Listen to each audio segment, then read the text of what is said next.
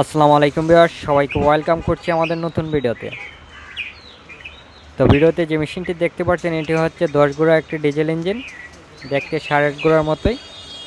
তো মূলত এটি হচ্ছে দশ গোড়া ইএম একশো নব্বই মডেল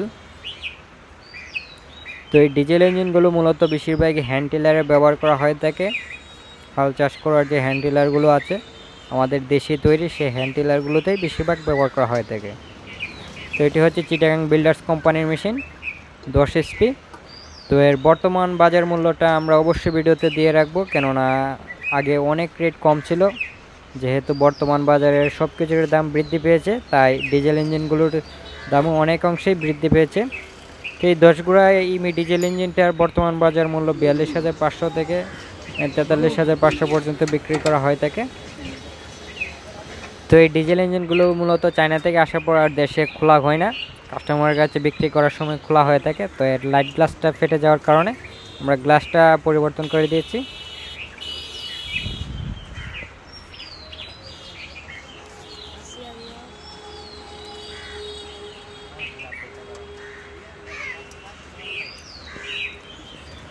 তো ভিউয়ার্স, এই মেশিন সম্বন্ধে আর যে কোনো ধরনের প্রশ্ন থাকলে অবশ্যই আমাদের ভিডিওতে কমেন্ট করে জানাতে পারেন। আর আপনারা যদি আমাদের সাথে যোগাযোগ করতে চান, অবশ্যই ভিডিও ডিসক্রিপশন বক্সে আমাদের যোগাযোগ করার লিঙ্ক দিয়ে রাখব।